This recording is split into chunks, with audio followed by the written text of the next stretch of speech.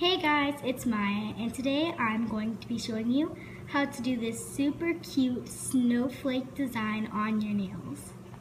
You are going to want to start out with a clear base coat on all of your nails. For ombre, like I've showed you in previous videos, add at least one coat of a white polish on all of your nails. Next, on a makeup sponge, um, you want to cut it so it's almost at the top and then you want to get two colors, which I'm using this dark blue and this pretty light blue, and you just want to paint them on the makeup sponge like this. After you let your sponge air dry for about 10 seconds and the white polish on your nail is completely dry, you are going to want to get the sponge and dab it on your nail. Like that. Next, with a Q-tip dipped in nail polish remover, you are going to want to remove all this extra polish from the sponge. You could also tape your nail, but I just find it easier to use a Q-tip and I find it faster to clean up.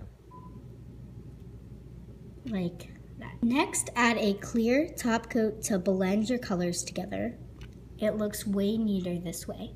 Next, with a very thin brush dipped in some white polish, you are going to want to start by adding a straight line down your nail where you want the snowflake to mainly be.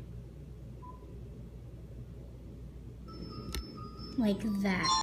Next, with that same striper, you are going to want to add kind of like a cross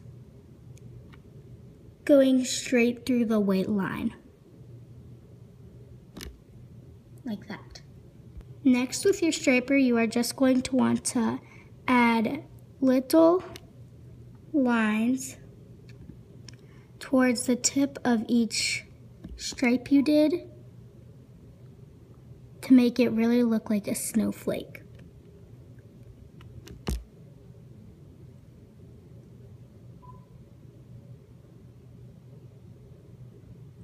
Like that. I hope you guys enjoyed this tutorial.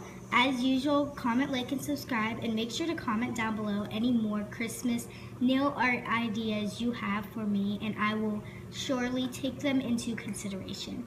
Thank you guys so much for watching, and I love you. Bye!